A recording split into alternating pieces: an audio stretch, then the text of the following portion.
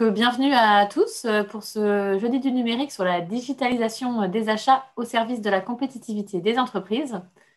Donc un joli programme qui nous est proposé par Frédéric Toumelin de Cobaye Solutions. Euh, je vais vous laisser la parole, Frédéric, du coup, si vous voulez vous présenter et présenter Cobaye Solutions rapidement.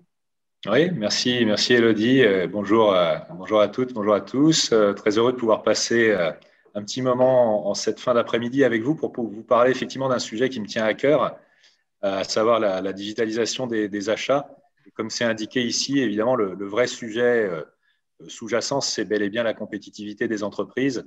La digitalisation des achats, dans ce cadre-là, c'est évidemment pas euh, une fin en soi, mais euh, c'est un moyen pour atteindre cet objectif et on, va voir pendant cette présentation comment.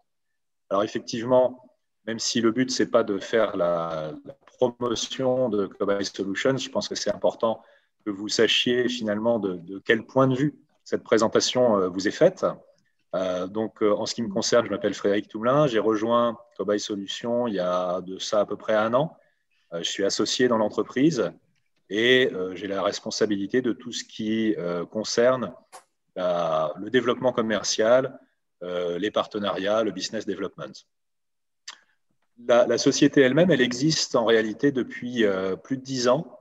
Elle a été créée par Stéphane Nous, qui est un professionnel des achats il a travaillé, euh, avant de créer la société, pendant une dizaine d'années euh, dans l'industrie pour des grands fabricants euh, dans le domaine, dans le domaine électronique. Et suite à cette première expérience, effectivement, il a souhaité mettre ses compétences au service d'autres entreprises.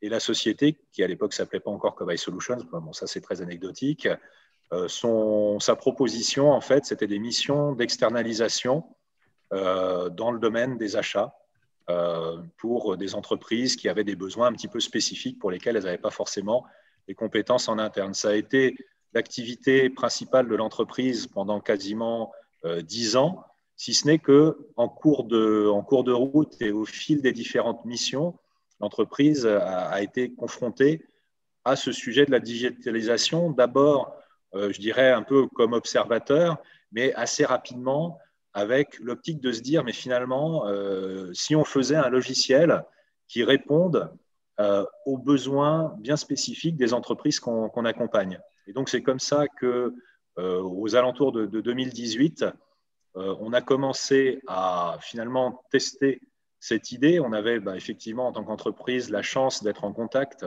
avec beaucoup de clients potentiels de ce, type de logiciel.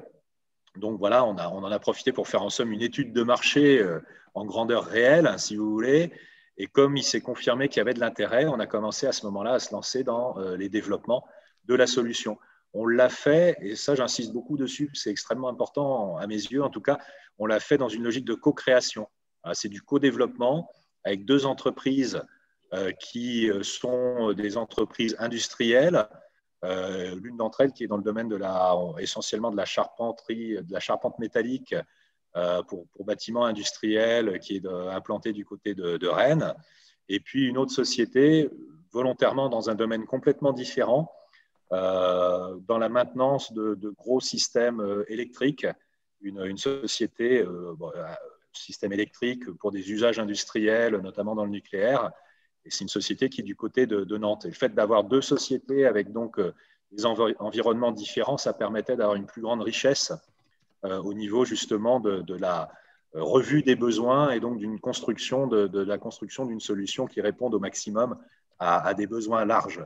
C'est ce qu'on appelle souvent voilà, un proof of concept. Donc on l'a fait avec, avec ces deux entreprises. Ça nous a conforté dans l'idée que vraiment c'était quelque chose qui répondait à un vrai besoin et donc là, on a été dans une logique de développement euh, complet, y compris en 2019 de 2020, de bien finaliser une, partie extrêmement importante qui est bah, euh, l'interface utilisateur, c'est-à-dire ce qui permet bah, en fait l'usage de, ce logiciel au, quotidien.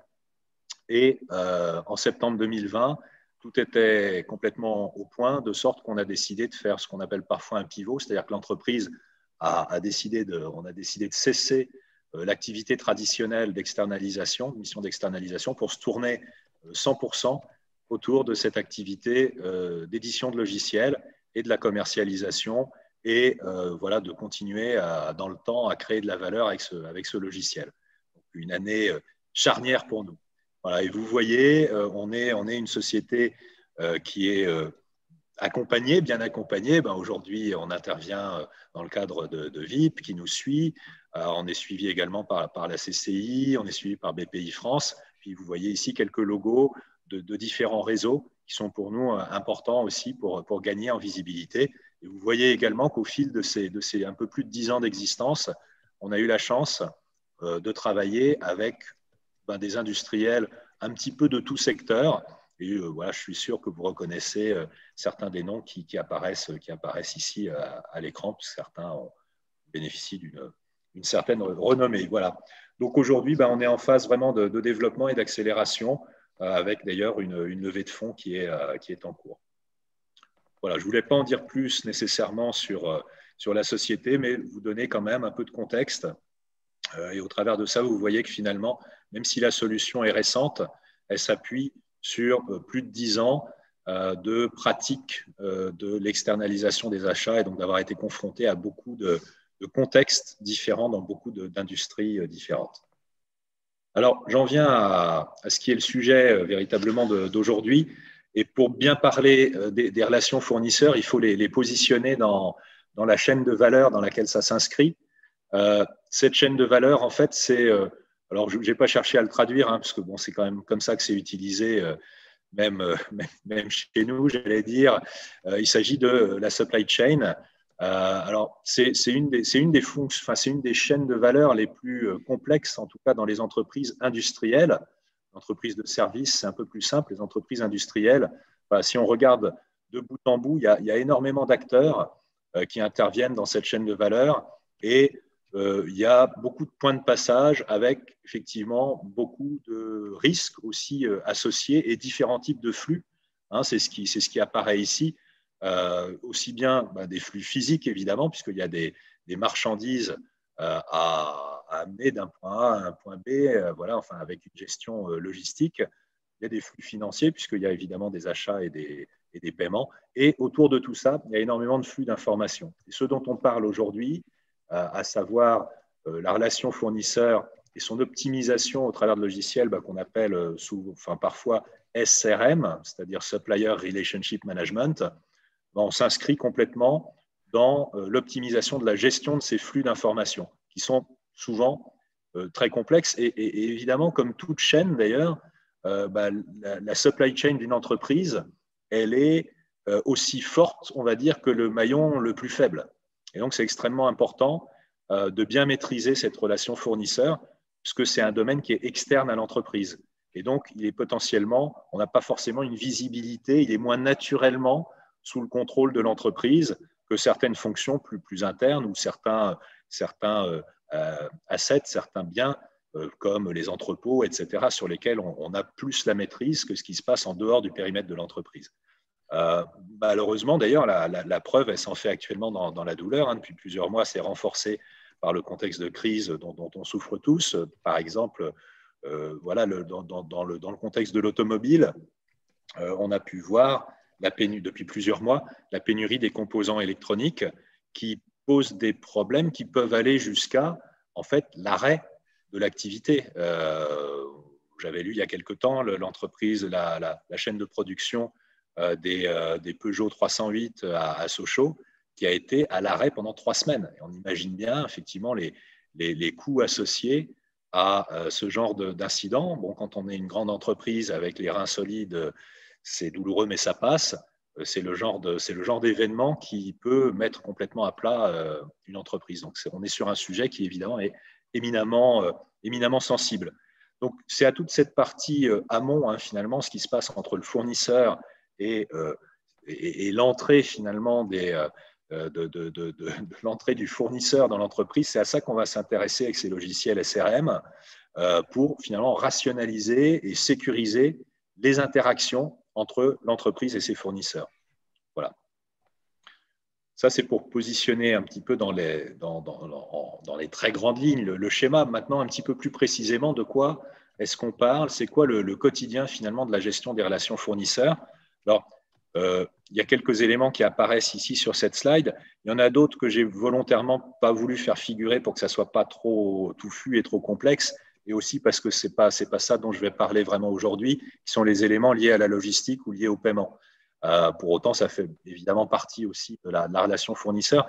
La raison pour laquelle j'en parle pas aujourd'hui, c'est parce que ça, pour le coup, c'est les flux qui sont liés euh, à cette partie très transactionnelle finalement que, sont les achats, les, passations de commandes et puis les traitements des commandes. C'est plutôt bien maîtrisé souvent dans les entreprises par des logiciels qui, eux, existent depuis longtemps, hein, qui sont les ERP typiquement, euh, Enterprise Resource Planning, qui vont effectivement euh, contrôler tout ce qui est de la passation de commandes à euh, pointer sur les stocks, du coup évaluer les besoins nets, du coup ben, passer éventuellement des, comme des demandes de réapprovisionnement pour reconstituer les stocks, etc., s'interfacer avec la, la, comptabilité pour les aspects réconciliation, les bulletins, euh, les, bons de livraison, le paiement, etc. Donc ça, finalement, je le laisse de côté. Qu'est-ce qui reste? Ben, Il y a deux, grands domaines d'activité. Le domaine euh, des, achats dans le sens de tout ce qui tourne autour de, l'amont, c'est-à-dire, ben, euh, par exemple, dès qu'il y a un nouveau besoin apparaît dans l'entreprise, soit au niveau du, marketing pour définition de nouveaux produits, bureau d'études pour la, l'étude de, de, prototypes, euh, transformer finalement ces expressions de, besoins de différents services en euh, recherche, finalement, en consultation pour trouver les bons fournisseurs, gérer les appels d'offres, ensuite trouver les meilleures solutions à l'intérieur de, certaines contraintes budgétaires, évidemment, euh, le référencement des nouveaux fournisseurs, maintenir la base des fournisseurs à jour, etc. etc. Il y a juste ici quelques, quelques exemples qui, qui illustre finalement ce qui fait le quotidien des acheteurs dans ce domaine-là. Et puis il y a un autre grand domaine auquel s'applique la digitalisation dans le sens euh, SRM, Supplier Relationship Management, qui est tout le domaine de la qualité, qui est un domaine euh, qui est complexe, mais qui est à la base, mais qui est de plus en plus complexe parce qu'il y a de plus en plus de réglementations applicables qui nécessitent des points de contrôle supplémentaires euh, avec des exigences qui sont souvent aussi très spécifiques en fonction des, euh, en fonction des domaines dans lesquels on opère. Euh, pour reprendre l'exemple de l'automobile sur lequel on était tout à, tout à l'heure, ben, on a effectivement des référentiels qui sont produits par des groupes comme l'IATF, par exemple, l'International Automotive Task Force, et qui, qui, émet tout un tas de, de normes qui en plus évoluent dans le temps et dans un, secteur industriel comme l'automobile, dans lequel on a en plus finalement une chaîne de sous-traitance complexe avec des fournisseurs qu'en principe on connaît, qui sont les fournisseurs de rang 1, et encore est-ce qu'on les connaît bien? Euh, Tellement il y en a, c'est déjà une problématique en soi, mais ces fournisseurs de rang 1 font appel à des fournisseurs de rang 2, de rang 3, et pour autant, euh, en tant qu'entreprise qui va acheter et assembler finalement tous ces produits semi-finis pour faire une automobile, on assume la responsabilité de l'ensemble. Donc on a vraiment besoin d'avoir un maximum de visibilité sur l'ensemble de la chaîne et ce type de démarche euh, peut aider, on va y revenir, mais en tout cas ça fait partie du, quotidien euh, des équipes que de faire du mieux possible pour s'assurer que les normes sont effectivement euh, respectées et, ma foi, aussi faire face aux non-conformités quand il y en a suivre les coûts liés à la non-qualité, etc., etc., et maintenir une base d'évaluation des fournisseurs la plus, euh, la plus objective et, à jour euh, possible. Voilà juste en fait quelques, quelques éléments euh, de, de, ce que font les équipes au quotidien. Donc c'est vraiment une multitude d'actions. C'est des actions qui sont toutes nécessaires. Pour autant, c'est des actions qui produisent pas toutes une forte valeur ajoutée. Ce que je veux dire par là, c'est qu'il y a énormément d'administratifs là-dedans et euh, comme euh, bah, par exemple, voilà, euh, envoyer des mails, pointer les réponses, bah, il y a des retards, il faut faire des relances, repointer, construire des tableaux pour comparer différentes offres, consolider tout ça, etc. ce à quoi ça sert est important. La manière de le faire, souvent, est constituée de tâches qui sont très chronophages. Et c'est ça l'intérêt, c'est que est-ce qu'on peut les optimiser? Comment les optimiser? C'est vraiment le sujet qu'adresse euh, cette, digitalisation. Alors justement, aujourd'hui, comment, ça se passe? Pour comprendre bien qu'est-ce que peut apporter la digitalisation, encore faut-il euh, bien se replonger dans la manière dont ces gérer aujourd'hui et est-ce que oui ou non, ça crée un problème? Est-ce que oui ou non, on peut trouver des manières d'optimiser? Alors, pour certains d'entre vous, c'est très proche, j'imagine, de, ce que, de vos préoccupations. Pour d'autres, c'est peut-être un petit peu plus lointain. Aujourd'hui, c'est quoi les, euh, les, outils qui sont utilisés euh, le plus communément euh, par, par les acheteurs? Ben, En fait, il y en a deux. c'est la messagerie pour gérer effectivement toute la, communication autour des informations, communication sortante, communication entrante. Et puis, bah, c'est Excel. Alors, je ne cherche pas à ce que ce soit lisible, c'est juste pour montrer en fait la complexité d'un tableau de synthèse euh, derrière lequel euh, on va voir il y a énormément de choses pour, arriver à ce tableau de synthèse qui est constitué de dizaines d'onglets comme celui qui apparaît à l'écran. Et euh, cet onglet lui-même, il brasse énormément de données avec beaucoup de colonnes, beaucoup de lignes. Et effectivement, ça prend un temps énorme de, le fabriquer déjà et un temps encore plus énorme de le remplir. Ça va de soi. Et du coup, le but de tout ça, évidemment, c'est de quoi C'est d'informer la prise de décision. Parce que, en fait, on est sur le poste achat et par rapport aux, entreprises industrielles qui sont celles, en tout cas, auxquelles nous, chez Mobile Solutions, on, s'adresse le plus directement, bah, le poste achat, souvent, il dépasse euh, l'équivalent de 50% euh, du chiffre d'affaires de l'entreprise. Et c'est souvent d'assez loin la plus grosse ligne de coût euh, de, l'entreprise. Donc ça justifie effectivement qu'on s'y intéresse, ça justifie qu'on essaye de trouver des, méthodes pour optimiser, sachant que, et alors là, quand vous voyez ce, slide, vous dites peut-être que il est complètement fou, là, il nous montre un truc complètement illisible. Bah, bah oui, c'est illisible, mais en fait, malheureusement, c'est parce que c'est la réalité sous-jacente du travail des, acheteurs que d'être face à cette grande complexité et à devoir, en fait, se, se débrouiller un peu pour organiser le chaos, j'ai envie de dire, et par rapport à, par rapport à ce fouillis, ben, réussir justement à arriver sur ce tableau à droite qui est là pour aider, informer la prise de décision. Mais pour en arriver là, il faut effectivement gérer énormément d'interactions euh, avec euh, l'externe, avec l'interne, euh, réussir à, à, obtenir ces informations en temps et en heure, ce qui nécessite énormément de relance, et puis, ben, effectivement, quand on remonte, c'est les petites flèches vertes, quand on remonte tout ça, on, arrive à une arborescence qui est, incroyablement complexe et qui est faussement rassurante, j'aurais tendance à dire, parce que finalement, on se dit, bon, une fois qu'on a terminé son dossier, on le range, j'allais dire, dans cette arborescence euh, hyper complexe, et donc on se dit, bah, si jamais j'en ai besoin, c'est pas perdu. Mais sauf qu'en réalité, c'est tellement compliqué que le jour où j'ai besoin d'une information qui, est là quelque part, je sais que c'est là quelque part dans mon arborescence, mais en fait, je ne sais plus où. Et c'est pas, voilà, on ne sait pas la retrouver. C'est presque comme si on avait mis le dossier à la poubelle, en fait. Euh, c'est un peu, peu, sévère comme constat, mais je pense que c'est, euh, enfin, voilà, je pense que c'est ce que vivent euh, la, plupart des, la plupart des acheteurs, en fait, dans leur, dans leur travail. C'est comme ça que ça se passe. C'est très chronophage.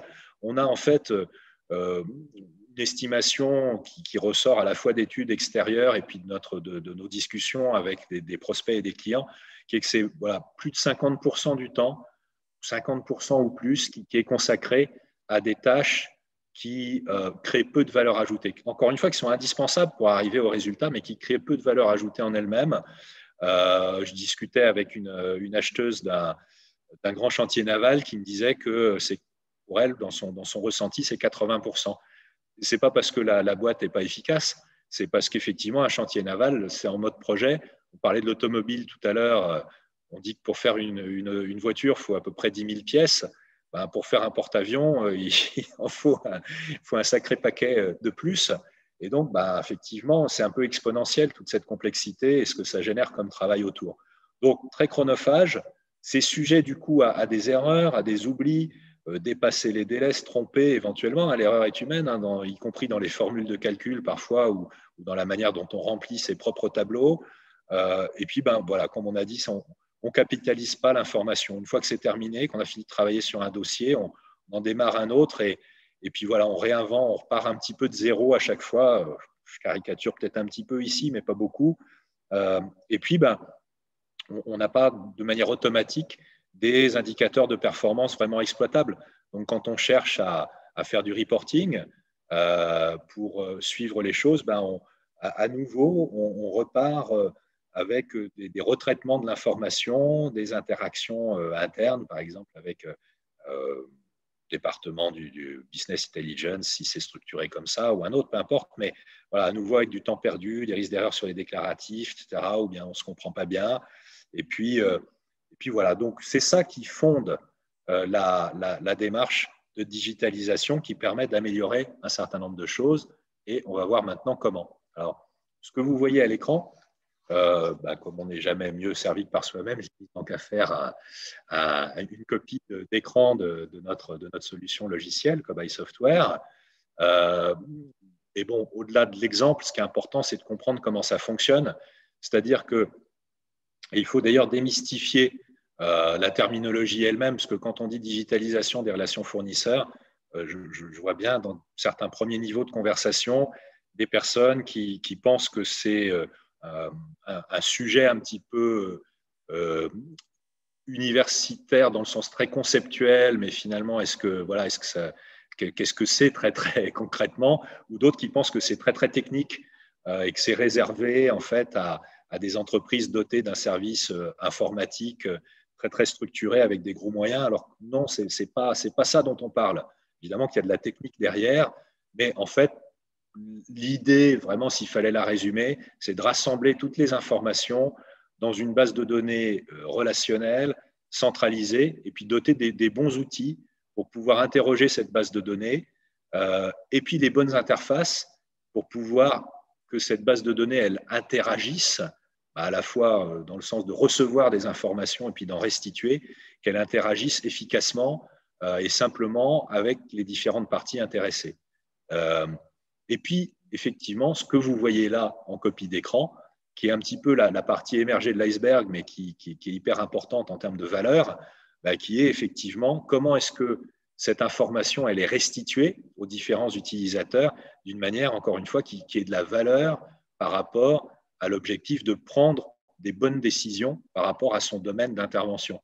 si je suis un acheteur, dans le domaine euh, effectivement de, prendre les bonnes décisions par, rapport à, des choix de fournisseurs, euh, si je suis euh, qualiticien, ça va être d'avoir une bonne vision sur mes, indicateurs, sur mes indicateurs qualité.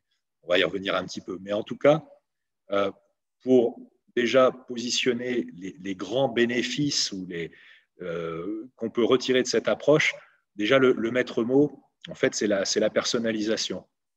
Euh, au niveau de l'entreprise, déjà dans un premier temps, euh, parce que, ben, encore une fois, selon le domaine dans lequel on, opère, on va être soumis à, un certain nombre de, contraintes qui vont être spécifiques, d'exigences, etc. Je, parlais de normes tout à l'heure, spécifiques à l'automobile, par exemple. Mais donc, il y a un premier niveau de personnalisation au niveau de l'entreprise, et puis il y en a un deuxième au sein de l'entreprise en fonction du rôle que l'utilisateur a dans l'entreprise euh, et aussi de son niveau hiérarchique. C'est pour ça qu'il peut y avoir différents niveaux d'agrégation de la, de la donnée. Euh, et effectivement, euh, certaines personnes qui vont être, on va dire, consommatrices uniquement de certains dashboards, tableaux de bord, d'autres qui vont avoir un rôle plus, plus actif à, entrer de, la donnée pour se voir restituer effectivement un certain nombre d'indicateurs de, manière, manière visuelle. Le, un élément qui est important aussi sur lequel on a, on a énormément travaillé pendant les, deux ans de, développement du logiciel, et je pense que voilà, toutes les solutions ont cette volonté, cette ambition d'être le plus intuitif possible. Euh, et effectivement, on bénéficie aujourd'hui, et pour nous, le fait d'avoir développé euh, récemment, euh, je pense que c'était un bénéfice à, ce, de ce point de vue-là, on bénéficie d'une acculturation générale bah, grâce à tout ce qui est application mobile notamment. Et tout le monde aujourd'hui est plus ou moins à l'aise, on va dire, avec le fait de se mettre à utiliser un nouveau logiciel, parce que finalement, bien souvent, l'ergonomie, on, s'y retrouve avec ces logiques un petit peu de zoomer, dézoomer euh, à base, à base d'un menu. Et nous, on a effectivement cette arborescence avec laquelle on est, je pense, aujourd'hui tous familiers. Et puis, bah, deux, autres éléments sur lesquels j'attire l'attention. qui sont hyper importants aussi, c'est la logique de tag. Hein, vous voyez, c'est petites, les, les, les, petits cercles, enfin les petits ovales en orange, en rouge, hein, un code couleur qui, correspond évidemment à rouge. Il y, a plutôt un problème. Et orange, il y a une alerte qui suggère de regarder de près avant que ça se devienne éventuellement un, problème. Et ça, ça permet effectivement d'un seul coup d'œil, quand, on quand on regarde son, logiciel, de, s'intéresser à ce qui demande une, une action euh, rapide. Et finalement, le but, c'est d'automatiser tout ce qui peut l'être.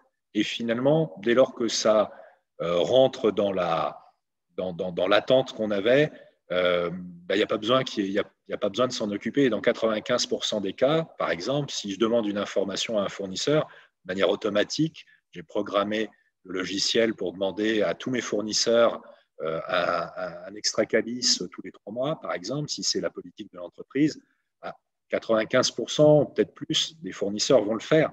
Donc, ce n'est pas la peine que je m'y intéresse. Ça y est, le logiciel a réglé ce problème-là pour 95% de mes fournisseurs. Les 5% qui restent, bah, c'est là où il va falloir du coup euh, que je bah, que, j'entre en contact avec eux, quoi, hein, finalement, pour comprendre pourquoi est-ce qu'ils font pas cette action que je leur demande. Et euh, bah, du coup, mon temps est beaucoup plus disponible pour que je puisse faire cette action-là euh, et d'autres. Donc les tags, c'est important à, à, cette, à cet égard-là. Et c'est la visualisation d'un travail sous-jacent en termes d'automatisation. Et puis, nous, on a vraiment veillé à ce que finalement, quelle que soit la donnée que je recherche, par rapport au problème dont on parlait tout à l'heure, qui est ah je sais que c'est quelque part, mais finalement comme je sais pas où je l'ai rangé, bah, je réussis pas à la retrouver. Ici, que la donnée soit toujours accessible à maximum trois clics de, cet écran de cet écran d'accueil.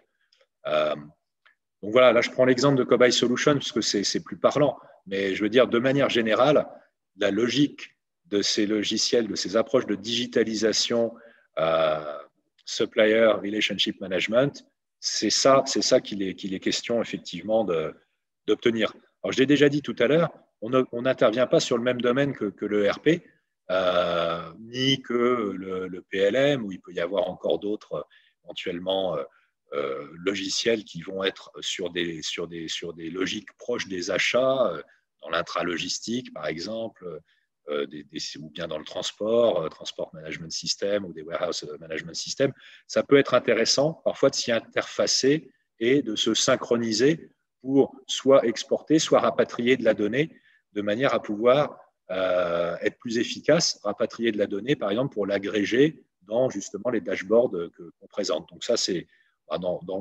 quasiment tous les cas sur lesquels on a travaillé jusqu'à présent, il y avait cette nécessité de s'interfacer au moins avec le RP et euh, bah, la bonne nouvelle, c'est qu'effectivement, dans, le monde dans lequel on, vit aujourd'hui, informatique, c'est assez différent euh, de ce qu'il y aurait eu il y, a, il y, a, 10 ans, 15 ans, ne serait-ce que ça. Euh, les, interfaces sont prédéfinies avec les logiques d'API, donc Application Programming Interface, enfin, peu importe, mais qui, norment un petit peu les choses et qui aident finalement différentes briques logicielles à communiquer plus facilement. Et puis, Dernier point, effectivement, euh, mais hyper important, euh, tout ce qui est lié à la portabilité. Et c'est vrai que euh, l'information, bah, elle est dans un point, encore une fois, central, hein, qui, est la, base de données, qui est un peu le cœur du réacteur. Mais cette information, elle est accessible au travers de différents types d'appareils. Donc là, on a, on a l'image d'un téléphone, d'un smartphone. Ça peut être une tablette, voilà. Ce n'est pas toujours indispensable, hein, d'ailleurs, mais il y a des situations dans lesquelles c'est bien euh, d'être euh, capable d'accéder à la donnée quand on se trouve en mobilité. Euh, voilà, par exemple, je, rends visite à, un fournisseur et on, fait, on fait une revue, une revue de business et on veut parler des, des, bah, des incidents potentiellement qu'il y a pu y avoir. C'est important de pouvoir aller chercher l'information et la regarder ensemble. donc à ce titre-là, tout ce qui est euh, bah, portable, tablette, évidemment, c'est plus pratique que, que, les, postes fixes, en tout cas, et même que les, ordinateurs portables. Donc voilà, donc tout ça, c'est de manière un petit peu générale ce dont, il, est, question. Et on voit bien, enfin, je pense, hein, la différence avec euh, ce que ce, cette approche vient remplacer, à savoir bah, les arborescences très, très, très compliquées de, rangement, de structuration par dossier et les tableurs, finalement, où l'information, oui, elle est là, mais elle est difficile à, exploiter et on ne peut pas la, on peut pas la, faire parler finalement avec d'autres euh, feuilles Excel qu'on a, qu'on a, qu'on a ailleurs. Alors qu'ici, voilà, tout étant au même endroit, euh, on peut effectivement aller interroger. Alors justement, pour euh, préciser un petit peu plus les choses, dans le domaine de la gestion des achats, alors encore une fois, la gestion amont des achats, hein, donc la partie qui va concerner les consultations, les appels d'offres, les mises en concurrence, les, les, valorisations d'affaires, etc., la gestion de mes bases articles, la gestion de ma base fournisseur. Bah là, typiquement, euh, j'ai pris encore un, des exemples, qui est l'onglet euh, euh, consultation. Et donc, effectivement, ce qu'il faut comprendre, c'est que on est, on est en fait dans une logique où on passe d'un traitement finalement unitaire vers un modèle qui est relationnel. Alors peut-être que quand je dis ça, ce n'est pas spontanément très clair, hein, mais qu'est-ce que ça veut dire? Ça veut dire que finalement, chaque objet est défini par ses attributs. Je ne sais pas si c'est beaucoup plus clair, mais je vais, je vais illustrer. Euh, si on prend l'exemple à gauche, l'objet ici, ça va être une consultation. Et elle est définie par quoi? Bah, Elle est définie par le croisement entre le fait que c'est rattaché à un dossier, c'est rattaché à, une, un fournisseur, donc une société, il y a une date de création, peut-être il y a un, budget, euh, il y a d'autres éventuellement euh, articles qui ont fait l'objet de cette consultation, mais qui l'ont été auprès de d'autres fournisseurs etc., euh, etc. Et donc cette, réalité très éclatée, bah, elle se rattache quand même. Euh, on, peut, dans une base de données euh, relationnelle, la structurer de telle sorte que finalement, je peux retrier tout selon mes différents attributs et me dire, ben, tiens, au fait, c'est quoi toutes les consultations que j'ai fait entre telle date et telle date? Ou bien, c'est quoi toutes les consultations qui se rattachent à telle ligne budgétaire, à tel projet? Euh, ou bien, à contrario, tiens, mais tel fournisseur, c'est quoi les j'ai fait combien de consultations cette année auprès de ce fournisseur Parce que par exemple, euh, si j'ai fait 10 euh, consultations mais que je ne l'ai jamais retenu, est-ce que, est que j'ai raison de le garder dans mon panel? En fait, c'est peut-être une erreur, il ne devrait peut-être pas être là. Enfin bon, voilà, donc en fait, on peut se poser tout un tas de questions et y répondre, ce qui est encore mieux. Euh, en, utilisant la base de données relationnelle et le fait qu'on peut naviguer très facilement, puisque hein, ici, bon, l'objet aujourd'hui, c'est pas de vous faire une démo de Cobay Solutions. Hein. encore une fois, je, je m'appuie sur notre exemple parce que bah, d'abord, je le connais mieux, euh, et, puis, euh, et puis aussi parce que bah, tant qu'à faire, autant, autant vous montrer celui-là plutôt qu'un autre. Mais donc là, c'est pas une démo, mais bien sûr, si je vais cliquer sur bah en l'occurrence, d'ailleurs, c'est la date de création qui a servi à, organiser cette page-là. Mais si je clique sur euh, dossier, ça va me les ranger par dossier. Si je clique sur société, ça va me les, enfin sur, le, sur la tête de, colonne société, ça va me les ranger par société. Mais si je clique sur une société qui est là, euh, info solution, et que bah, ça va me mettre finalement, ça va m'ouvrir un autre onglet qui va me dire tous les événements qui se sont passés avec cette société info solution. Euh, et, voilà, donc j'ai cette navigation facilitée euh, en fonction des différents types de questions que je peux me poser, sans avoir du tout besoin d'être euh, un data scientist ou un informaticien. Je n'ai pas besoin de maîtriser euh, des logiques de, enfin, des, des, des, techniques de requêtage, SQL, etc. C'est voilà, c'est en cliquant sur, sur les différents boutons d'action ou sur les têtes de colonne ou, sur les lignes que je vais accéder à l'information dont, j'ai besoin. Voilà, je parle ici brièvement des, workflows, enfin je mentionne les workflows, hein, juste pour, être clair là-dessus. Euh, ça va permettre en fait d'automatiser euh, des processus de validation de dossiers, par exemple, et donc le, logiciel, dès, lors qu'on lui donne les bons paramètres, bah, il va savoir que, par exemple, en fonction de tel montant, c'est telles personnes qui vont être impliquées dans la validation euh, d'un dossier, que ça va passer d'abord par le bureau d'études, le marketing, la finance, ou, pas, qu'en dessous de tel montant, euh, il y a délégation au marketing, donc ce n'est pas la peine que ça aille en finance. Euh, et puis, ça peut gérer de manière automatique euh, des délais. Donc, il n'y a pas besoin d'avoir quelqu'un qui se dit mince, mais on ne m'a pas répondu, etc. Enfin, comme ça, voilà, ça va, ça va, ça va. le logiciel va automatiquement générer des relances, etc. Et des alertes si malgré les relances, ça ne, ça, n'avance pas comme ça devrait. Alors à propos d'avancer, le temps avance aussi, donc moi je, continue dans la, présentation. Ici, je ne vais pas m'étendre particulièrement. Euh, bien sûr, s'il y a des questions, je pourrais y revenir, mais c'est un petit peu la même chose du côté, euh, du côté de la qualité, euh, avec quand même quelque chose sur laquelle j'attire votre attention, parce que je trouve que c'est extrêmement important. la copie d'écran qui est ici, c'est une copie d'écran de ce qu'on peut trouver sur le portail fournisseur. Ça, c'est quelque chose qui est assez fondamental dans la digitalisation des achats, c'est que ça permet aussi si l'entreprise le souhaite, hein, et la maturité là-dessus, je vois bien dans les conversations euh, avec les entreprises, elle est plus ou moins avancée pour des raisons qui appartiennent à chacun, il n'y a aucun jugement de valeur. Certaines entreprises ne veulent pas trop exposer euh, d'informations à leurs fournisseurs, d'autres au contraire souhaitent être, notamment sur des sujets de qualité, en totale transparence. Moi, je trouve que c'est important effectivement d'être en transparence euh, parce que bah, si on n'a pas la même vision d'une réalité sous-jacente, c'est difficile de se mettre d'accord sur euh, des plans de progrès, par exemple, etc., si on n'est pas d'accord sur le fait que les niveaux de qualité, euh, où est-ce qu'ils sont vraiment. Bon, donc ça, typiquement, euh, ce genre de graphe, et ça, c'est aussi l'intérêt de la, base de données, c'est qu'elle historise tout. Et donc, comme il historise tout, on peut, comme c'est illustré ici, avoir des graphes de tendance et voir si effectivement on est en train d'être sur des indicateurs qui se dégradent ou bien est-ce qu'ils fluctuent, est-ce qu'ils fluctuent dans des, on va dire, euh, de manière qu'on juge acceptable ou pas, euh, etc. Toutes ces choses-là, très visuellement, on va s'en rendre compte euh, parce que, encore une fois, on a la base de données sous-jacente et on a la capacité de l'interroger et on a la capacité de visualiser tout ça sur des tableaux de bord extrêmement synthétiques et, rapides à interpréter. Euh, voilà, il y aurait beaucoup, beaucoup à dire. Il y a différentes choses qui apparaissent sur ce slide, mais sur lesquelles euh, je pense que l'essentiel est dit et on peut, on peut revenir après, bien sûr, au niveau, des, au niveau des questions. On va se garder un petit peu de temps pour les questions et puis après, je suis toujours à disposition pour approfondir si, certains le, le souhaitent, hein, bien entendu, en dehors de cette première réunion aujourd'hui. Euh, je l'ai mentionné, mais je crois que c'est vraiment fondamental. en fait, on parle aussi, au travers de ces, outils et de ces démarches de digitalisation des, relations fournisseurs, on est sur un, sujet euh, hyper important qui est celui de, en fait, du collaboratif.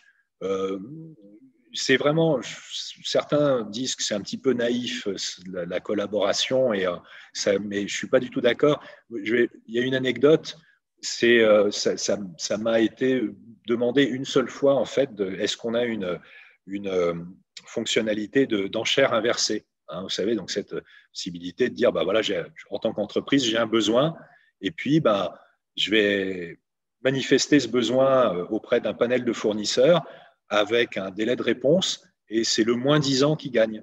Donc c'est pour ça que c'est des enchères, mais euh, inversées. C'est le moins 10 ans qui gagne. Bon, bah ça, c'était très à la mode, effectivement, si je peux dire ça comme ça, dans les années 80-90. Et plus du tout aujourd'hui, même si c'est pas, je dirais pas que ça se pratique plus du tout, mais ça se pratique quand même très peu. C'est pas parce que le prix est devenu un critère pas important, euh, évidemment que non, le, prix c'est fondamental, mais c'est le prix mis en perspective avec tout ce qui va avec. Et dans un système d'enchères inversées, on n'a plus de mise en perspective, et donc c'est quand même assez dangereux. Euh, effectivement, la tendance aujourd'hui, c'est plus de dire que les fournisseurs, c'est un peu les ressources externes de l'entreprise. Hein. Certaines, euh, certaines sociétés, d'ailleurs, emploient cette, euh, terminologie. Et, on voit bien qu'il n'y a rien à gagner à maltraiter une ressource. Il faut l'utiliser au mieux de ses capacités. Euh, et effectivement, c'est pour ça d'ailleurs que ce, slide parle de, capital fournisseur. Et, j'y crois vraiment. Et la digitalisation, bah, elle permet ce travail collaboratif entre tous les acteurs. Ça décloisonne d'ailleurs, y compris en interne, la fonction achat, la fonction qualité. Euh, et ce qui crée d'ailleurs, au travers de la transparence, bah, non seulement bon, il y a de l'efficacité évidemment, mais il y a aussi de la confiance. Et là aussi, je ne pense pas que ça soit une notion euh, déplacée ou naïve euh, dans les affaires. Je pense qu'au contraire, un peu comme le bien-être au travail, c'est des vraies notions qui sont des atouts de compétitivité pour les entreprises qui, réussissent à bien, le, maîtriser en fait.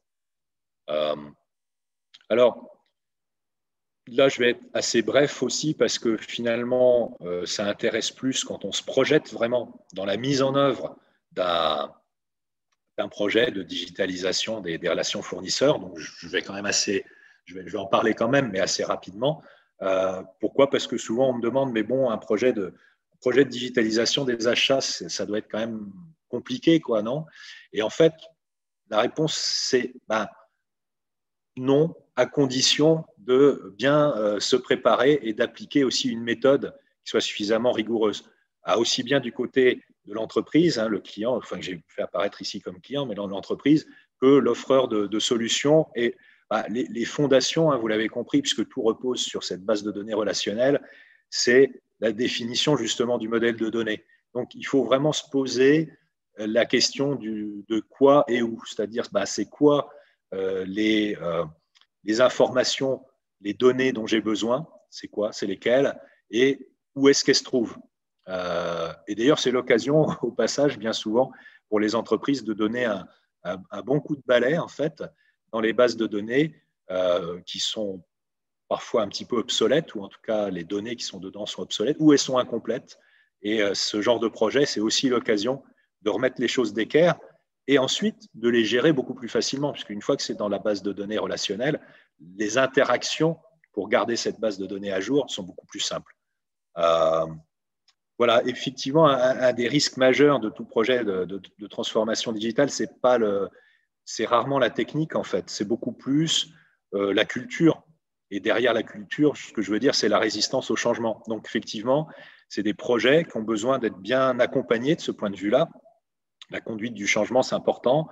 Et euh, bah, la hauteur de la marche à franchir, elle va, être différente d'une entreprise à l'autre. Et potentiellement, elle va être différente d'une solution à l'autre aussi. Nous, on a vraiment, en tout cas, on fait le maximum pour être plutôt dans une logique où on transpose euh, dans le logiciel les processus qui sont appliqués par, par l'entreprise plutôt que de lui demander euh, de s'adapter en fait aux processus qui sont voulus par le logiciel. Et donc, pour bien comprendre comment paramétrer le, logiciel et organiser les écrans, etc., ben on, implique les futurs utilisateurs dès le début. Donc, ça aide beaucoup à euh, vaincre ce risque de, résistance, de résistance au changement que j'évoquais.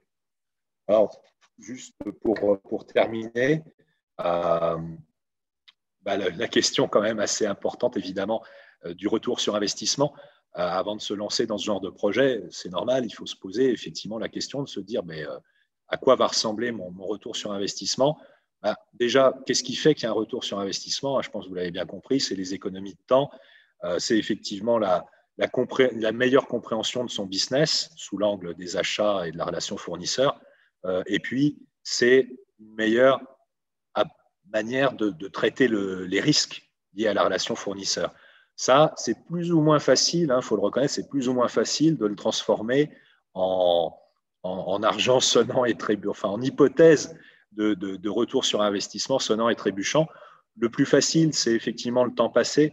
Euh, je lisais récemment dans la lettre des achats un, article qui est très intéressant, je crois que c'est au fin, avril, c'est euh, Jean Potage, qui est, l'ancien CPO, Chief Purchasing euh, Chief Procurement Officer de Thales et qui, euh, voilà, depuis qu'il est à la retraite, est très avancé sur les, aspects euh, chercheur, rédacteur de publications. Il enseigne dans, pas mal de masters sur les achats. Il a fait un article très intéressant au, mois, au mois d'avril qui essaye de quantifier justement un petit peu les choses.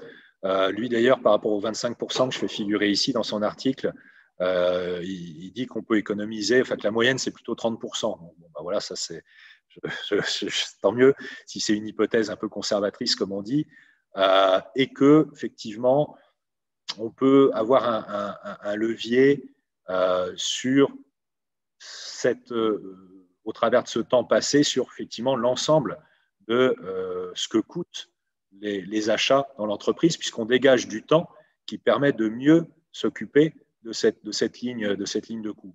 Et donc, effectivement, rien qu'en prenant en compte ces éléments qui sont assez matériels, euh, on peut faire un tableau, c'est le tableau euh, finalement à gauche, qui souvent surprend euh, parce qu'il illustre le potentiel de faire un travail sur les, achats lorsque on part d'une situation où on n'a pas fait grand-chose et où finalement la digitalisation elle permet, avec un investissement assez modeste, d'aller chercher, ici c'est une ambition assez raisonnable, un levier de 3% de, compression, d'optimisation de la ligne achat. Et donc, pour avoir le même levier en augmentant les ventes, et ça souvent les gens sont surpris, bah, en fait, il faudrait développer les ventes de 21%. on dit, mais c'est quoi qui explique cette différence finalement?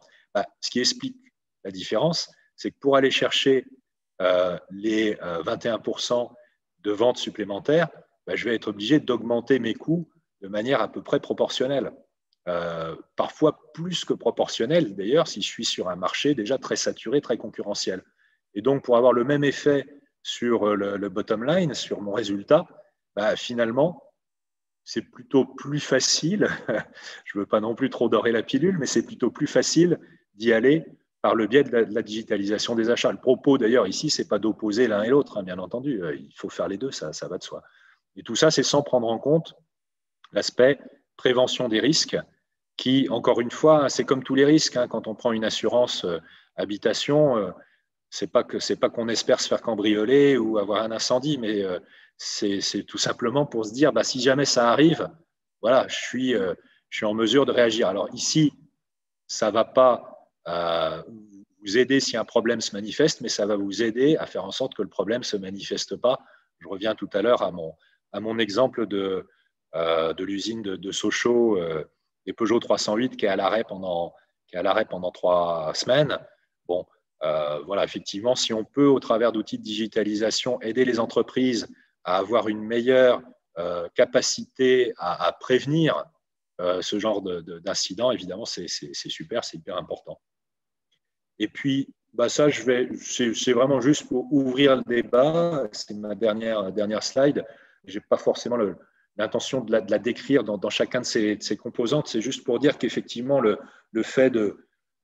Bah, la, digitalisation des achats, finalement, et des relations fournisseurs, c'est quelque chose qui existe aujourd'hui. C'est quelque chose qui est accessible au plus grand nombre. Le fait de s'y positionner, de s'y intéresser en tant qu'entreprise euh, dès maintenant, bah, ça, permet de, de, faire un premier pas dans, euh, avec déjà des bénéfices et un retour sur investissement rapide, dans quelque chose qui va continuer à, avancer et à se développer dans différentes, dans différentes directions, certaines que j'ai voulu indiquer ici sur, sur ce slide, mais, mais sans nécessairement aujourd'hui euh, vouloir rentrer dans, dans, le détail, notamment pour laisser un petit peu de temps pour, euh, pour les questions. Donc, merci, merci pour votre écoute. J'espère que ça vous a convaincu ou en tout cas expliqué pourquoi est-ce que euh, j'avais ce, titre hein, euh, à, l'origine qui est euh, la digitalisation des achats au service de la compétitivité des entreprises.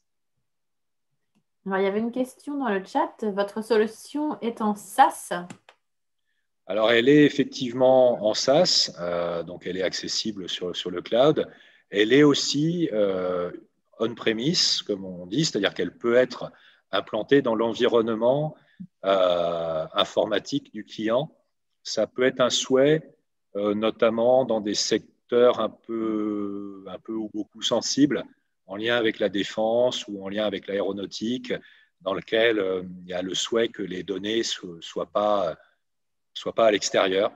Donc typiquement, bon, alors voilà, je pense que dans quelques, je sais pas si c'est des mois ou des années, le distinguo sera de plus en plus ténu hein, avec tout ce qui est le secure cloud, etc.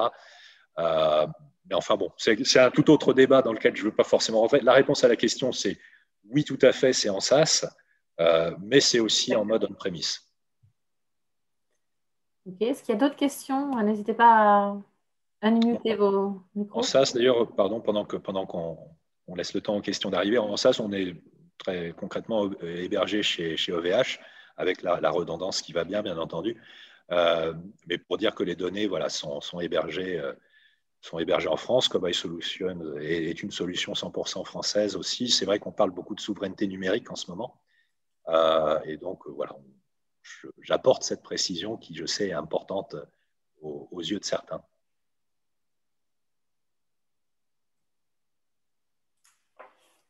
D'autres questions peut-être? Jean-Philippe, je vous vois. ouais, bah, je vais faire par écrit, ce sera plus simple. Euh, euh, par écrit, par, par la voix. Euh, en fait, je voulais juste remercier pour la présentation. Parce que, en fait, j'ai vu que, concrètement, c'est un vrai fléau que le, fichier Excel. je me bats tous les jours contre ça. Et je vois que bah, ça fait plaisir de voir qu'il y a des sociétés finalement qui pensent la même chose et qui, mettent des solutions, des vraies solutions pour moi, parce que le fichier Excel, pour moi, ce n'est pas une solution, c'est ça enterre tout le monde. Mais malheureusement, dans beaucoup de sociétés, alors il n'y a pas que dans les achats, moi je vois ça, je suis dans l'IT, moi, je ne suis pas du tout dans les achats, mais euh, je vois que tout le monde s'enferme là-dedans parce que pour eux, ils pensent que c'est plus facile, ils pensent que c'est plus accessible, et en fait, euh, au quotidien, ils perdent un temps monstrueux dans tous les domaines, que ce soit les achats ou autres, euh, même dans l'IT. Enfin, exactement ce que vous racontiez. Bah, bah, merci de ce témoignage, parce que c'est vrai que quand c'est un, quand c'est un offreur de solutions qui tient ce discours, on se dit, bah oui, oui, il va, il va, dire ça, quoi, forcément. Donc, c'est bien de l'entendre aussi euh, sous forme de témoignage. Donc, euh, bah, merci. Ouais. Ah, merci à vous. Et du coup, niveau tarif, ça donne quoi? Parce que pour une petite euh, une entreprise qui vient de se lancer, par exemple, c'est accessible ou... Alors, bah, effectivement, le, ce qui est important de voir, c'est la, la, question du, retour sur investissement. Mmh. Euh, alors, ça dépend, quand je dis que c'est accessible à tout type d'entreprise, euh, pour préciser un petit peu évidemment le, propos, euh, il faut qu'il y ait quand même un, un poste achat et une certaine complexité liée aux achats qui génèrent des difficultés qui, du coup, bah, créent un potentiel euh, si, on, si on réussit à les optimiser. Très concrètement, les, deux, les deux, sociétés euh, qui ont été, euh, des, qui ont été nos, sociétés pilotes, je ne l'ai pas dit tout à l'heure, elles géraient un volume d'achat de 5 millions d'euros à peu près chacune. Voilà. Donc, ce pas des TPE, hein, on est d'accord, mais en l'occurrence, ce pas non plus des grands groupes. Hein. voilà, C'était des entreprises, grosso modo, un, peu en dessous de 10 millions d'euros de chiffre d'affaires. Euh, et avec des, lignes, une ligne achat, l'une comme l'autre, qui tournait autour de, 5 millions d'euros. Et clairement, avec cette taille d'entreprise, on a euh, un retour sur investissement rapide. C'était tout à l'heure à l'écran, euh, moins de 12 mois. Et effectivement, voilà, je suis tout à fait prêt à regarder n'importe quelle situation d'entreprise qui a ce volume d'achat je suis persuadé qu'on on est en mesure de lui offrir un retour sur investissement inférieur à 12 mois. Très bien. donc, il faut avoir un département achat, mais est-ce qu'il faut avoir un département IT pour l'installer? Alors, l'implication du département euh, IT, de notre expérience, en fait, elle est assez, euh, elle est, elle est assez faible euh, parce que, justement, l'accès se fait en mode SaaS, encore une fois, sauf s'il y a une bonne raison pour vouloir l'implanter dans l'environnement dans de l'entreprise. Mais par défaut, c'est en mode SaaS et donc les interfaces avec les éventuelles briques logicielles comme le RP ne demandent pas nécessairement d'intervention de, l'IT. Voilà, en général, il y a une validation de l'IT de la manière dont ça va, dont ça va se faire mais ça nous est arrivé voilà, de, monter des projets dans lesquels euh, l'IT n'a pas, pas, vraiment eu besoin de, s'impliquer. En tout cas, ce n'est pas un projet euh, au, sens, au sens informatique du terme pour elle. Ok, très bien. Est-ce qu'il y a une petite dernière question? Alors, je ne sais pas, LLF, à quoi ça correspond, mais...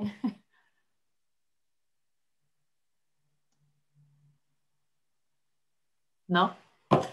Bon, bah, du coup, on va clôturer là. Euh, nous, on se retrouve donc euh, la semaine prochaine, euh, le jeudi du numérique, qui accueillera Femmes et Numérique, donc pour le témoignage de deux femmes de la cybersécurité donc du territoire. Il y aura une personne de VAN, donc de leur cyber, et une autre de IoT BZH, deux femmes qui nous raconteront un petit peu leur parcours et puis c'est quoi leur quotidien dans, ces, dans ce milieu-là. Voilà.